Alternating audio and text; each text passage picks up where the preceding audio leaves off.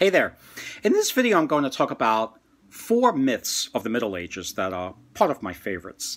Um, uh, there's various sources I'm using, but perhaps the main inspiration for this video is uh, is this great little book here called Curious Myths of the Middle Ages, and it's by the Reverend Sabine Baring Gould. And this particular edition is edited by Edward Hardy, uh, but I'll have it just I'll have a, uh, the, the, these books in the description below.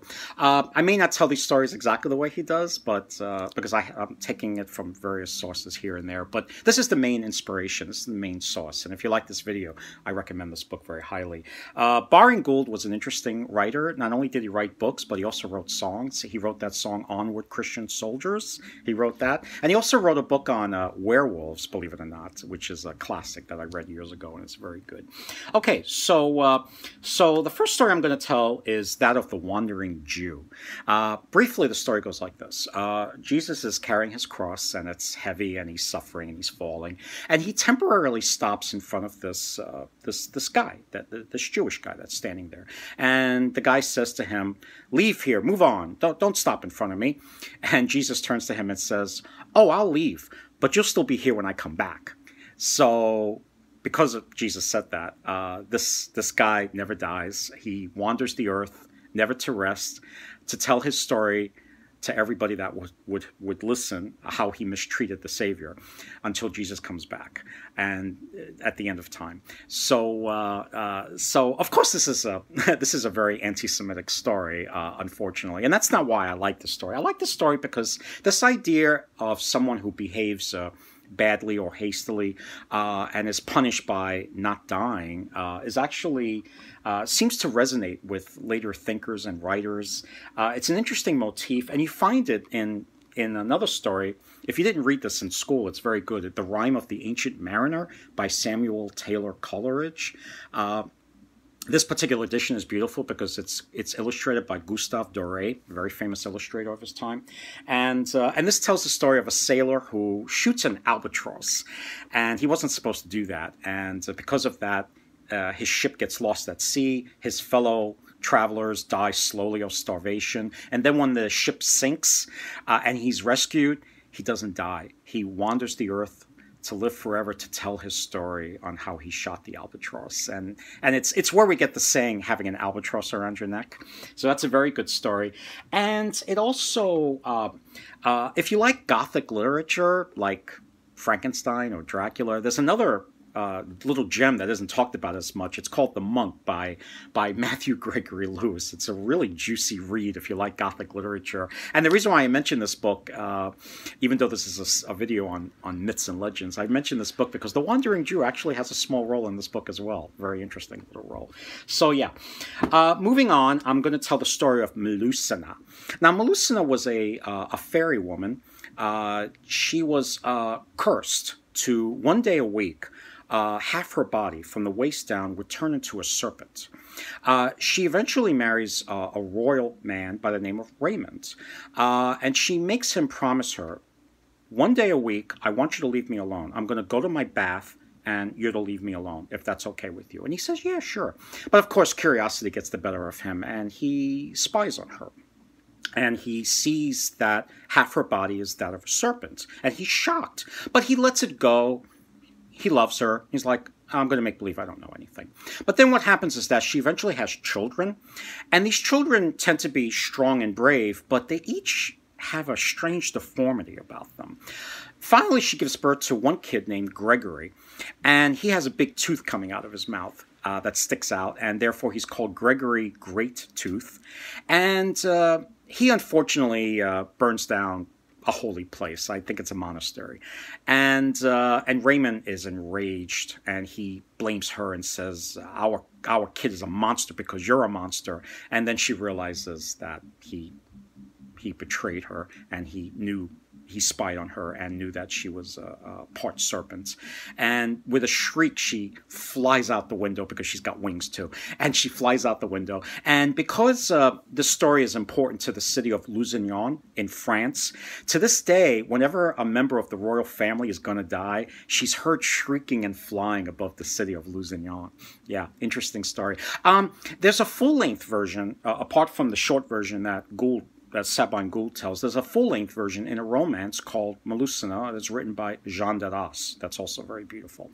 Um, the, the story of Melusina is actually very interesting because it seems to be part of this whole collection of stories that are popular in the Middle Ages that have to do with a mortal man that marries a woman that is not quite mortal. She's a fairy woman, a water spirit, a pagan spirit, something like that. And and usually the the marriage is always uh, with the condition that the man follows a certain rule, and he goes along with it. And but sadly, he usually breaks the rule anyway, and the marriage dissolves. These stories usually have sad endings.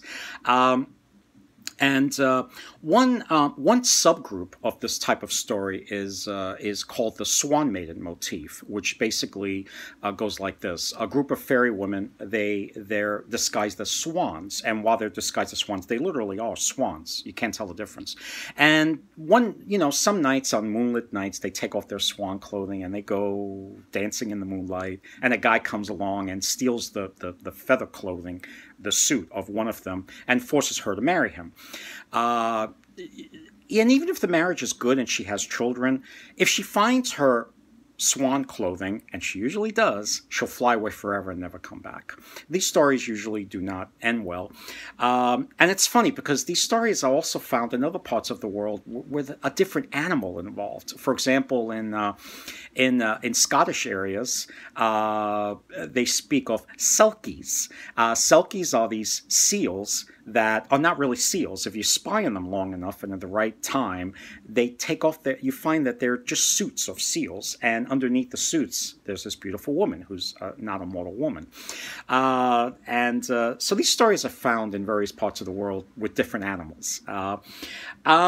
Another form of this kind of story is usually a story where somebody, uh, a spirit, a water spirit or a fairy spirit, wants to marry a man because they're curious about gaining a soul.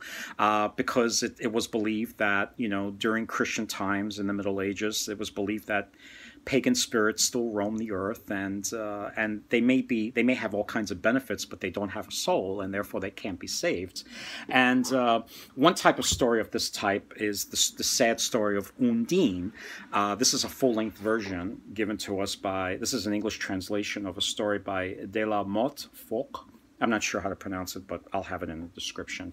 Um, and uh, this particular story is, uh, let's see, it's. Um, yeah, it's illustrated by Arthur Rackham, and uh, there's there's Undine. She's a water spirit, uh, and uh, another version which uh, everybody knows. Believe it or not, you know it too.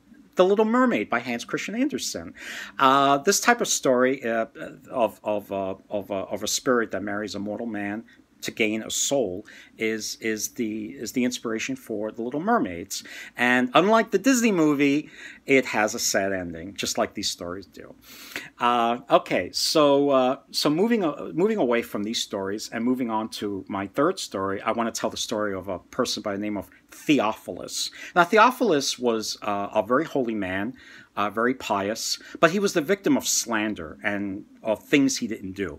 And he was very angry about this because I lived my life so virtuously and I'm accused of these things and I want my name cleared. And there's nothing he could do. So he visits a sorcerer. And the sorcerer manages to call up the devil. And he makes a deal with the devil to get to have his name cleared and get even with those who slandered him. So he makes a deal with the devil for his soul, of course, and to have to have his name cleared. And his name gets cleared, but then Theophilus, time goes by and he greatly regrets what he did. He goes, I can't believe I made a deal with the devil. I'm damned forever.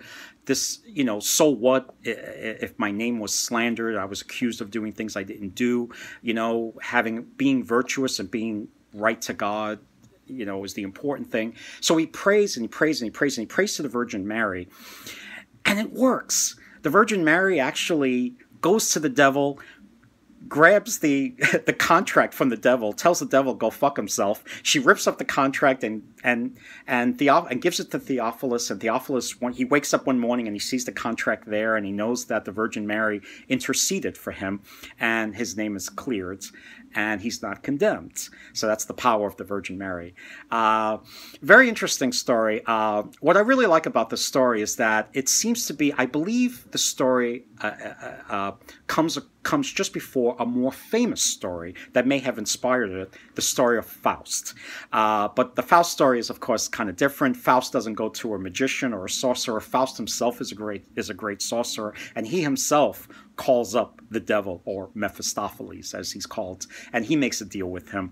And uh, the story of Faust is so celebrated. We have the version by Marlowe, the playwright. We have uh, the other play, the more famous play. Uh, he's either Marlowe has him uh, he's a contemporary of Shakespeare. He has him as Dr. Faustus. And uh, the, the, the, the, play by Goethe, he's known as Faust. Um, so, so this is a, a type of Faust kind of story where somebody wants something, appeals to the devil, and uh, and then regrets it. And in some of these stories, it's too late. He he's doomed, and in some of these stories, uh, or some versions of these stories, he he's he's he gets away from it, and uh, he manages to break away from the devil. Um, uh, so anyway, um, my final story is uh, is that of the uh, uh, is a a story called the dog Gellert. this is a Welsh uh, myth, and basically it goes like this: uh, There's this uh, the guy who lives in the woods, and uh, and he has a faithful dog named Gellert, and he also has a little baby. And one day he uh, he uh, he he goes out, and I believe he, he's going. Um, I think he has to go hunting, and and he leaves the dog in charge of the baby. So then one day he he he he goes he comes back from uh, he comes back from hunting and and he's greeted by his uh, by his dog. Uh, and but he sees that the dog is covered in blood. He's his mouth his body and he right away jumps to the conclusion that the baby uh, I mean that the dog ki- killed and ate the baby. So he immediately in, he's grief stricken and he kills the dog. But then when he goes into the hut he sees that the baby's fine. But next to the baby is a dead wolf and the blood and it, the blood that he saw on the dog was really the blood of the wolf. The wolf came into the hut, tried to eat the baby, and the dog protected the baby by fighting and killing the wolf. You could imagine how the guy felt. So he killed the dog that saved the baby. Uh, yeah. So now that you're good and depressed, at least now you have a story that you could tell friends, friends that you think might jump to conclusions too much. All right, so that's it for this video. Until next time.